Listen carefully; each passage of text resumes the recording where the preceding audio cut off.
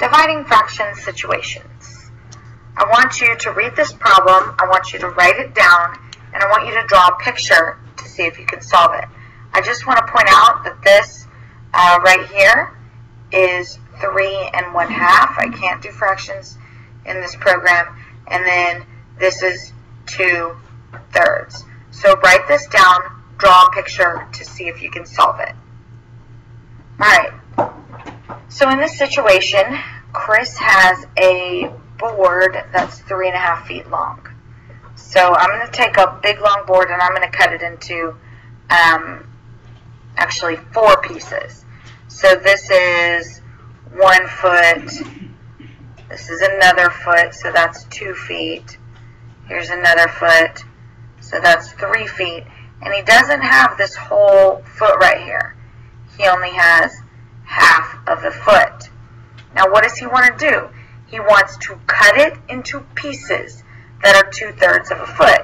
So I'm going to take each foot and I'm going to split it into thirds. Now on this one, I can't split, um, I'm going to actually show how you split the whole board into thirds. So now he wants to, he wants each piece to be two-thirds of a foot. So one piece is going to be these two-thirds. So that's um, one piece. Now the next piece will be these two-thirds. So that's two pieces. And then the next will be three pieces. See what I'm doing? And then we've got four pieces. Each piece is two thirds. Um, and then we have five pieces. Now, right here, we don't have another two thirds. We only have a little bit. So what I want to point out is that our original board, whole entire one foot board was right here. Um, and so what what we've done is we've actually split that board into one, two, three, four pieces. So if we're just looking at this piece right here, that's a fourth. So he can make five complete pieces that are this long and a fourth of another piece. So let's think about what it is that we did. We started with three and a half feet of board and we split it into equal sized pieces. When you are splitting into equal sized pieces, you are dividing. So we divided it by two thirds. Okay, now remember, when you divide fractions, you have to have fraction by fraction.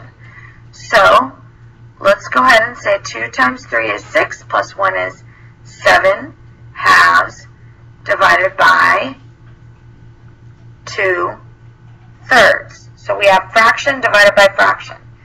Now when you're dividing, you are going to multiply by the reciprocal. So 7 halves remains the same.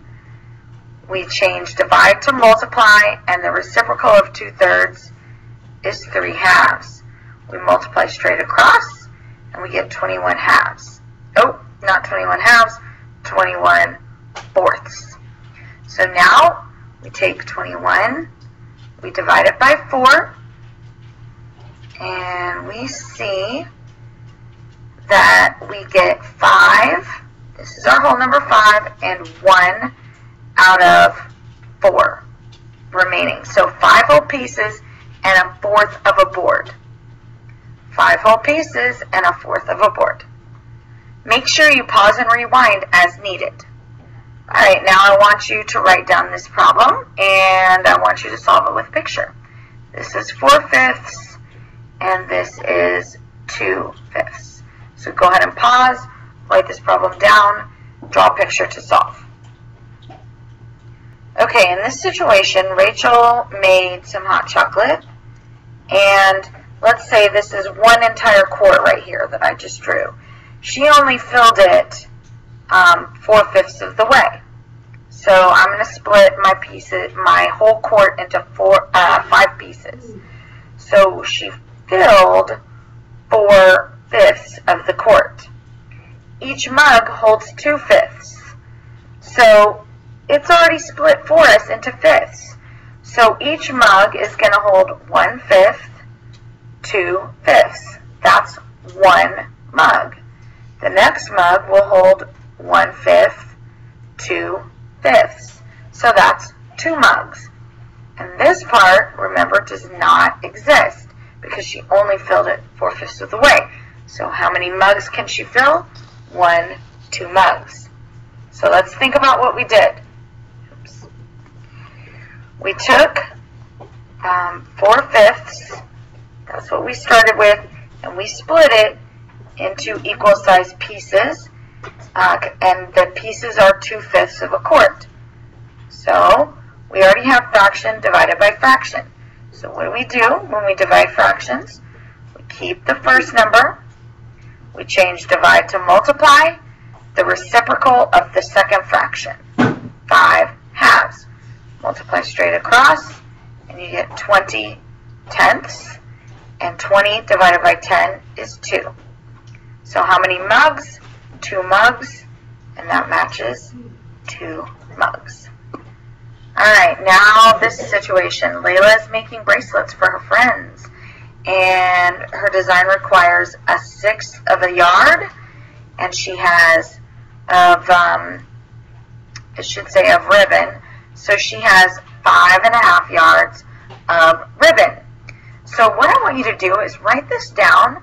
I want you to draw a picture and solve it. And when you come into class, if I am going to look at your picture and I'm going to see if you solved it correctly. And those of you who solve it correctly get a point for um, our class dojo. So pause and rewind through this video as needed. Write down this problem, solve it, and bring it to class tomorrow.